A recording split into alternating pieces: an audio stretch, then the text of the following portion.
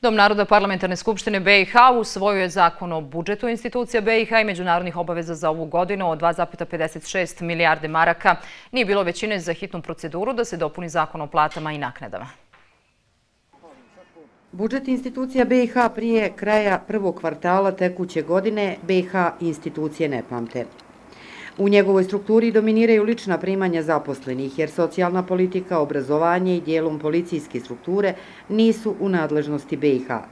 Da su želje jedno, a mogućnosti drugo, ukazuje ministar financija BiH Zoran Tegeltija, jer kaže zahtjevi su bili dva do tri puta veći od raspoloživih sredstava.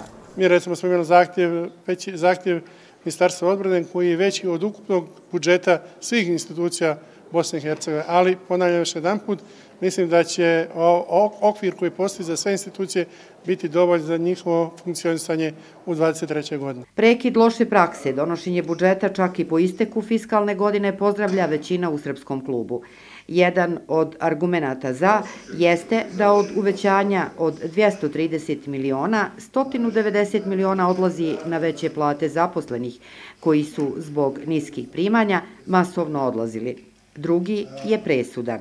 Ovim prijedlogom budžeta nisu predviđena sredstva za nabavku opreme u oružanim snagama, odnosno za nabavku naoružanja i oružja. To je meni i nama bio jedan od ključnih razloga zbog čega smo upravo glasali za. Ključni razlog zbog kojeg je većina u klubu Srpskog naroda bila protiv hitne procedure za izjašnjavanje o prijedlogu zakona o dopuni zakona o platama i naknadama jeste politička ucjena sa nefunkcionalnim rješenjem koje bi napravilo dosta problema nepravedan i neprihvatljiv odnos po pitanju plata. I u političkom smislu radilo se o jednoj vrsti ucijene, nastale na bazi razmirica među političkim partijama u federaciji. Mi nismo partner koji odgovara na ucijene, mi jesmo za dogovor jesmo za pronalazak kvalitetnih rješenja. Kvalitetno rješenje sigurno nije zadržati osnovicu od 535 maraka izabranim zvaničnicima i službenicima sa koeficijentom iznad 8, jer bi se dogodilo da hijerarhijski podređeni sa manje obaveza i odgovornosti bude plaćen više puka demagogija, da ne kažem populizam, pričati kako oni koji su protiv ovoga zakona nisu bili solidarni. On niti sadržajno, niti formalno ne zadovoljava.